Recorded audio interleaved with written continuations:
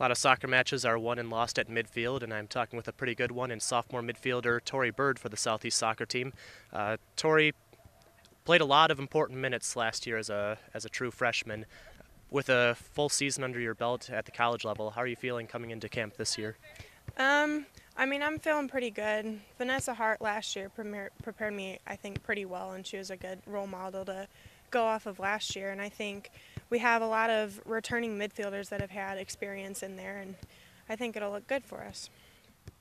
At midfield, there's a lot of, uh, I guess, for lack of a better word, bodies uh, who have some experience playing minutes at that spot. Uh, you among them, uh, one of them who started a couple years ago, your sister Taylor, finally healthy. Uh, how's she feeling? Uh, since you would probably know better than anybody else on the team. yeah.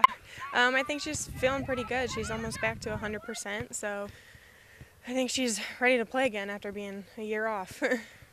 Talk, kind of gauge uh, what you've seen out of the rest of your teammates at that position over at midfield. I mean, you've got your sister Taylor uh, and another projected starter at this point, uh, Stephanie Palmer, who Mhm. seemed to come on, come into her own at midfield uh, towards the end of last year. yeah, she uh, came in to midfield last year and she did really well at the offensive mid position. And I think along with her, we have a lot of other ones that have experience and I think will do well in there.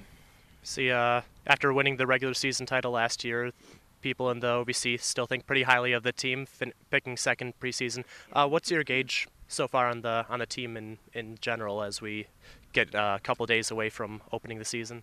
Um, I think our camar- camaraderie is really good, and I think we're really coming together as a team, and all the new players are getting used to everything, and Paul's doing well and teaching them all the things that need to be te- taught, and I think we're looking good. All right. Good luck this season, Tori. Thanks.